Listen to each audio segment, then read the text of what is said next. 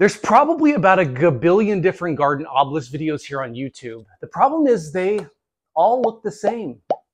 And the wood ones you buy online can be very expensive. So in this video, for just 18 bucks, I'm gonna show you how to make a modern style garden obelisk that's gonna be perfect for your classic cottage garden. So stick around.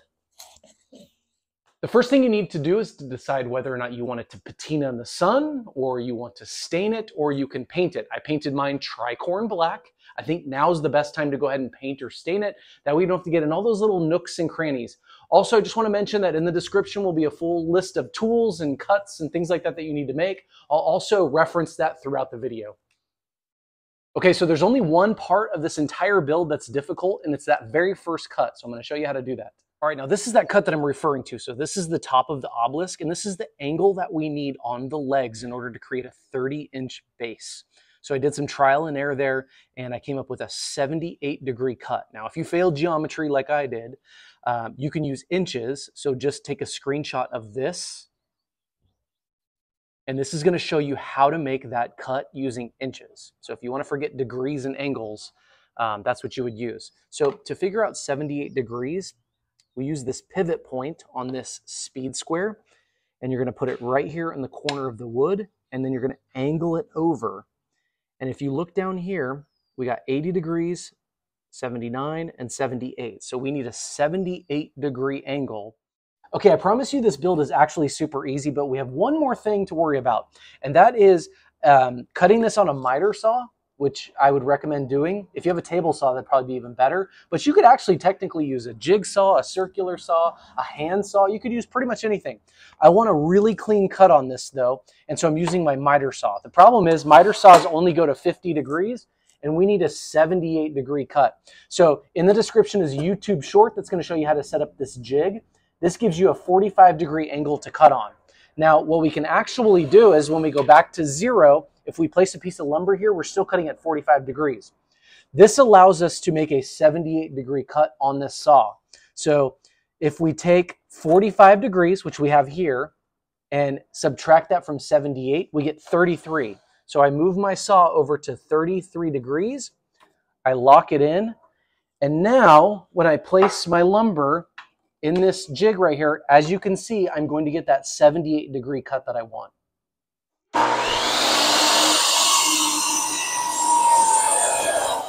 Okay, so no more difficult cuts. We got rid of the jig. We're back to square one here.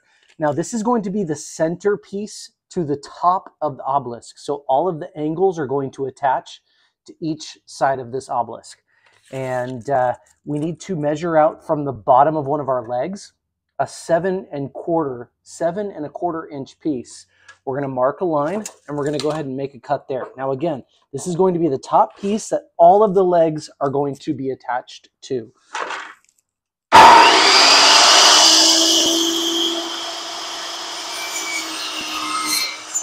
Okay, so here's that seven and a quarter inch piece, and here are two of our legs that we just cut. So if we put these together, we're gonna go ahead and set some glue on them, and we're gonna clamp it all together.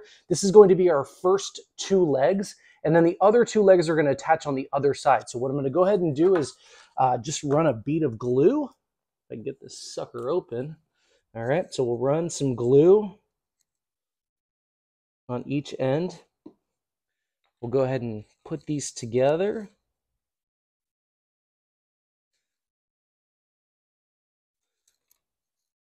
And then I'll take one of our small clamps here, and then we'll just do our best to kind of snug it all together. I'll go ahead and let this sit overnight. Okay, so now's a great time to figure out how tall we want this obelisk to be.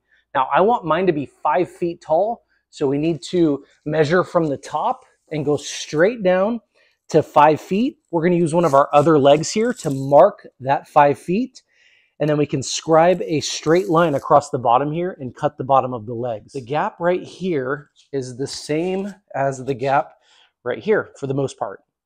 And uh, I then had to figure out how I wanted these cross members to be spaced. So what we're doing is we're spacing the first one at seven and a half, and then you know this one's going to be at 15, and each one down the line is going to be seven and a half inches on center, separate from the one above it or below it. How do we know that's one, two, three on our cross braces here, you just want to measure from this corner to that corner, and then that corner to this corner.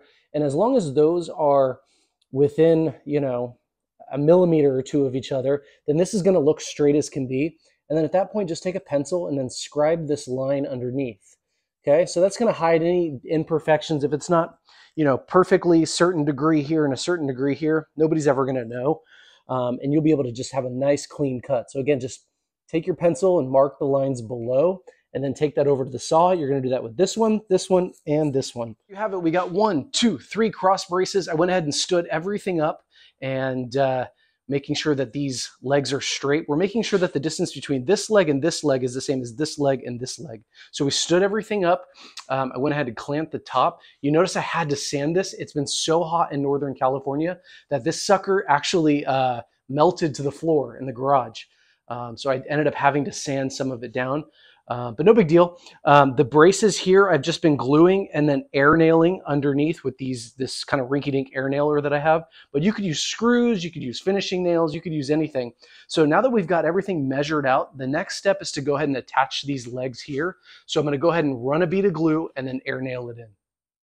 Now we want to make sure this doesn't get blown over in the wind, so I use some of the leftover wood to make these simple stakes. Just cut the bottoms at an angle hammer them into the ground, and secure them with a simple screw. Okay, so there it is, sitting in my garden, the finished project, and I couldn't be more excited to have it. I love the way that it turned out. It's a sleek, modern, one-of-a-kind take on that traditional cottage garden obelisk. They add height, they add structure, they're a great focal point for the garden. Now, once I got it stood up and placed in the garden, I did decide last minute to screw it all together. So each little section here, I did put screws on the outside. Um, I just think it felt stronger and sturdier, and I think it's going to last much longer. So between the glues, the glue, the nail, and the screws, um, that sucker's put together really well, so it's going to last a long time. Now, what to grow on an obelisk? I mean, you have so many options, but climbing roses, clematis, um, any kind of vegetable that grows up a trellis would be great. Um, sweet potato vines really popular. Um, you could grow just like star jasmine. What I found today at the garden center was this pink and yellow uh, called Pink Lemonade. It's a honeysuckle. And this is my pollinator bed. So I'm trying to get pollinators to my vegetable garden, and which is really important. And these are pollinator magnets. On top of that, they smell amazing. So when I saw this at the clearance rack for I think like four or five dollars. It was just, it was the sign. It was meant to be. So um, putting this in the center of the obelisk is going to look really cool, really, really pretty. Now, if you look at the back of my garden here, I have this green potting table we built this for a hundred bucks, and that was at the height of that lumber crisis we had. So I'm sure nowadays it's probably more like 75 bucks, something like that.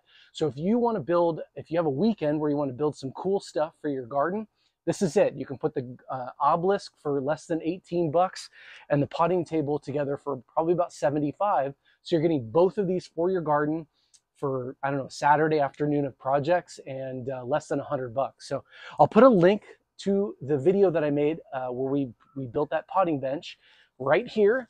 And if you want to learn all about pollinators, which this is my pollinator bed, my vegetable garden, make sure you check out that video here. So thanks for checking out the channel. I'll catch you in our next one. Bye.